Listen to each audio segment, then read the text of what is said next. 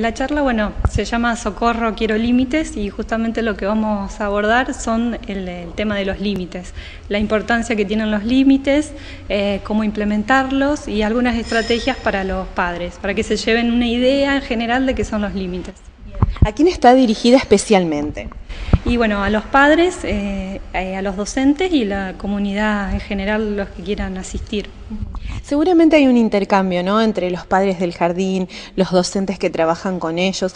¿Cuáles son los temas eh, a lo mejor más recurrentes o que más preocupan al papá o a quien bueno, tiene la función de educarlos? Y eh, en general, eh, bueno, en cuanto a los límites, eh, algunos padres no saben por ahí cómo implementarlos o qué estrategias, estrategias utilizar. aparecen todas esas dudas en cuanto al límite y cómo, cómo, cómo imponerlo, cómo implementarlo. Cuando hablamos de eso, de imponer los límites, ustedes a través de lo que estudian, a través de la psicología, ¿qué es lo que da resultado? Eh, bueno, hay, en, general el, tema de límites es muy amplio, eh, pero bueno, siempre se asocia el límite con algo negativo, con esto de castigar, con esto de retar, y eso no es un límite. En general los límites son, eh, hay que implementarlos desde el amor, desde el cariño, y lo que ayudan es, los organizan a los niños, bueno, los ayudan a implementar, digamos, horarios, rutinas, que ellos sigan eh, todo ese tipo de, temáticas, digamos. El tema de la negociación, por ejemplo, ¿vale la pena intentarlo o no? Sí, sí, sí, es, una premisa fundamental el tema de la negociación. La verdad que eh, sirve mucho y yo creo que es eh, una premisa fundamental esto de, de, estar negociando, de que los padres negocien eh, con sus hijos sobre el tema de, bueno, por ejemplo, el uso de las computadoras o el uso de, la tele, que siempre tiene que estar supervisado, supervisado por un adulto. Eh, bueno, hablamos de los tiempos pasados y los presentes y, la gente mayor dice, bueno, antes no pasaban estas cosas, antes los castigos eran por ahí un poco más crueles eh, y ahora los chicos están sin control. ¿Esto es realmente así?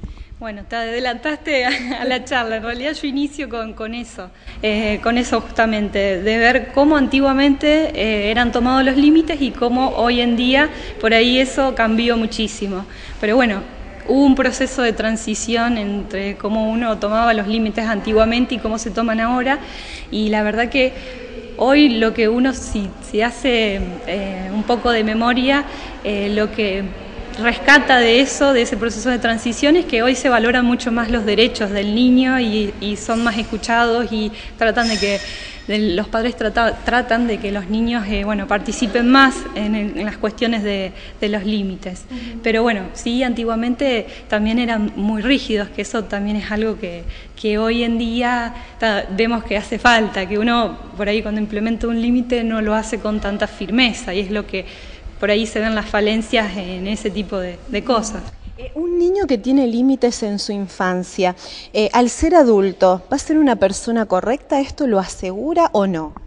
Y sí, si, si un niño, si digamos sus padres y los adultos eh, implementamos esto de los límites desde que recién nace el bebé hasta los seis años, que es la franja, digamos, de, la infancia más importante, y uno incrementa esto de los límites y los motivas, la verdad que sí, vamos a ver que es un niño que respeta horarios, respeta rutinas, eh, en esas cosas podemos ver. y la última, em, digamos que los límites, ¿quién los tiene que poner? Bueno, los límites los ponen los padres y los adultos. Ellos son los que, bueno, en caso de también en la escuela, los maestros, los docentes, todas las personas adultas son los que tenemos que poner los límites.